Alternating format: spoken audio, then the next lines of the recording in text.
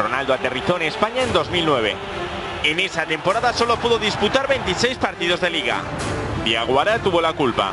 Este entradón dejó cao al portugués durante meses. Pero en España las cosas no eran más fáciles.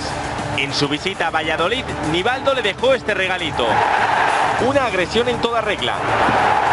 A pesar de todo, el brasileño no fue expulsado. Pero no fue la única. Entradas al bulto. Codazos indiscriminados. Y muchas zancadillas. Eso es lo que le tocó vivir a Cristiano en su primera temporada. Todo con un único objetivo, frenar a la nueva sensación de la liga.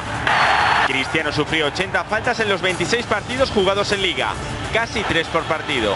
Pero lo que sacaba de quicio al portugués eran todas aquellas veces en las que le hacían falta y el árbitro no las señalaba. Algo parecido a lo que le ocurre ahora a Neymar. Cristiano se desesperaba, pero no le servía de nada. Los jugadores buscaban sacarle de quicio.